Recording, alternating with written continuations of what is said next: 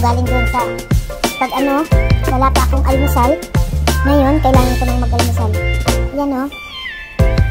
Habang may anesthesia pa yan, kikilos na akong kumain. Yan. Yan.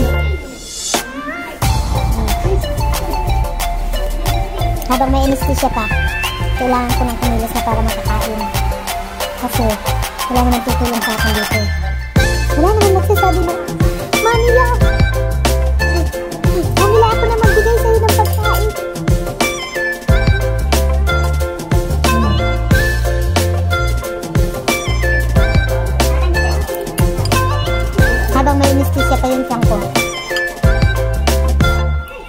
Kasi mamaya, pag nakabos ang anesthesia yan, sasakit na yan. Pero hingi naman ako ng pain reliever.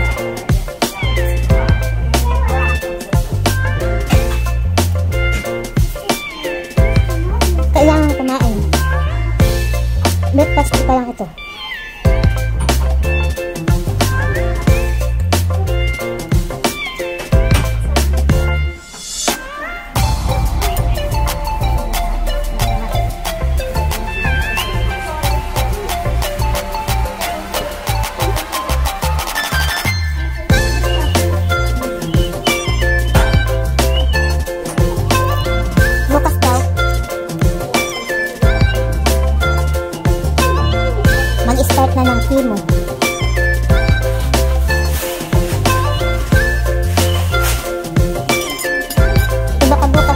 Mammogram.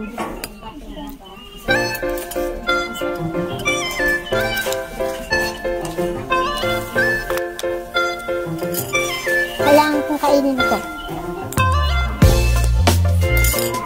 Kasi, pag hindi ako kumain, wala akong resistensya. Hmm, pang, pang, hmm.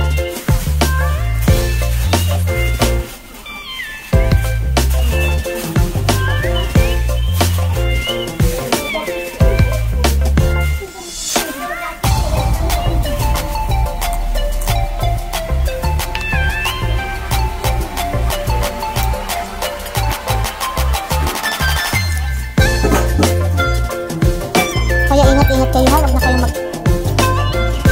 Magpabayaan ang sarili, wala nang dapat na magkasakit sa, sa inyo.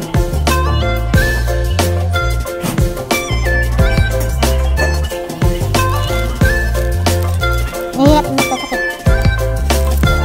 Lalo pa kung walang kasama. Mm. Buti kung kagaya ko kayo, na matibay.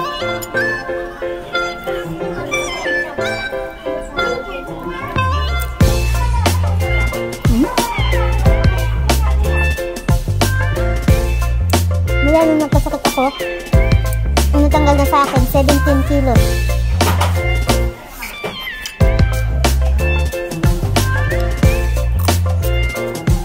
Hmm?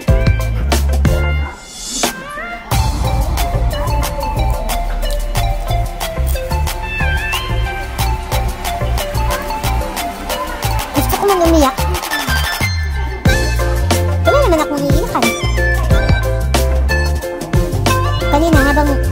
ginagawa yung tiyan ko, dalawang anesthesia ang tinuturok. Saka dalawang anesthesia. Tapos, ramdam na ramdam ko pa rin yung kanilang mga kamay. Kahit may anesthesia na, ramdam naman talaga yung pag-push nila, yung pag-lagay nila ng kung ano-ano. Kasi binutas yung ko eh.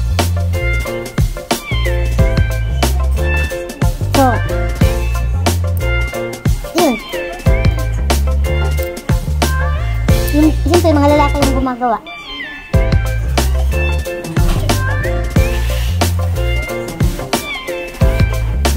Lalaki yung mga gumagawa, kaya wala, baka puno na. Sister, tingnan mo, baka puno na. Pa magtitingin ito ngayon kung puno na ito o ano pa. Mainit yung hose. Tumutuloy yung fluid.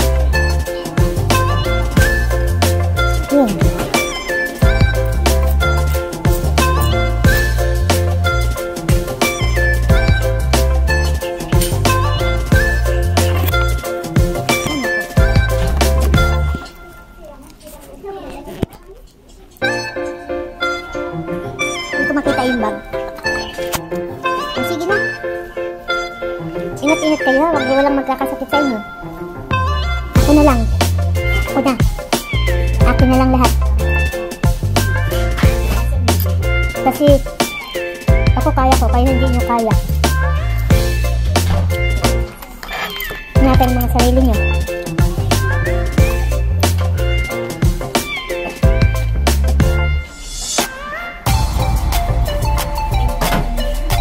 Yun naman ang paligid ko yun.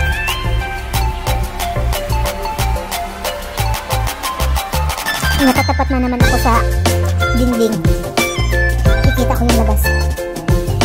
Natanggalin ko na pala yan. Ayun. So, ingat-ingat na nga, mga kapatid. Ingat. Okay, ingat-ingat kayo.